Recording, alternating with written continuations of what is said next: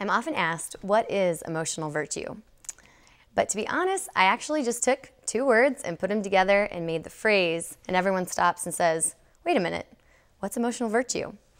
So you take emotional, the passions, our desires, feelings, emotions. It's important to remember emotions happen to us. Virtue concerns what we do with them. And then you have virtue. Virtue helps us to acquire the freedom to be excellent in our lives. Think about learning to play an instrument or learning a language or some sport that you want to get really good at.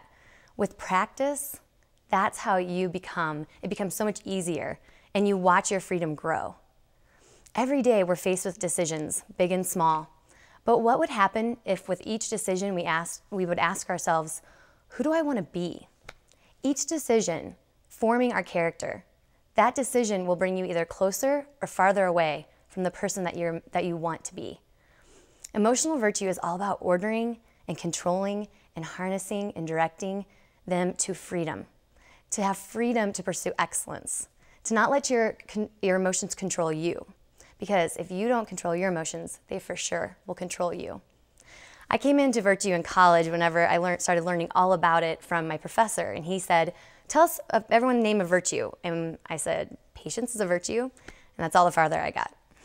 And so as we were looking at the different virtues, we were talking one night in a group of guys. We said, okay, what's the most attractive thing about a woman? And they went off and had their little powwow and they came back and they said, we got it, we got it. Holiness and confidence. And we were like, wow, that's deep. Holiness and confidence. Okay. And then we went back and I remember asking one another, what does that look like as women? What is, what, what goes with holiness and confidence? And then we figured it out. It's virtue. And so through the years, we've been talking and trying to figure out, okay, what does it mean to be a holy and confident woman? And we broke it down into three different things. That woman is feminine, she is confident, and she is virtuous. She's feminine. She is gentle and kind. She's poised and modest, joyful and fun. She's confident. She has courage. She's genuinely excited for another, not jealous or vain. She's prudent and honest.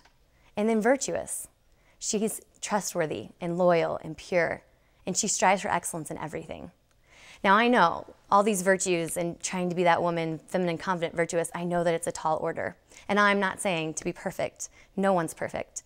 But striving for virtue and knowing what you want in your life to help you become when you ask those questions of, who do I want to be? As you're asking that. But isn't that kind of what you're looking for in a guy? Let's switch out feminine and put in masculine masculine, confident, and virtuous. That's what people are looking for in an awesome dating relationship. So we think about masculine. He's a leader, he's a provider, he's a protector. I love that. He's a man of integrity. He also has confidence and virtue. Can you imagine this couple coming together? What chemistry? What striving for virtue together and helping one another grow? How amazing would that be? But here's what I want you guys to remember. Ladies, always Become the woman, the woman of your dreams, and you will attract the man of your dreams. Become the woman of your dreams, and you will attract the man of your dreams. Who do you want to be? Ask yourself, what are my goals? What are my dreams? What are my plans? And strive for virtue. Every day, battle your emotions, help control them and harness them.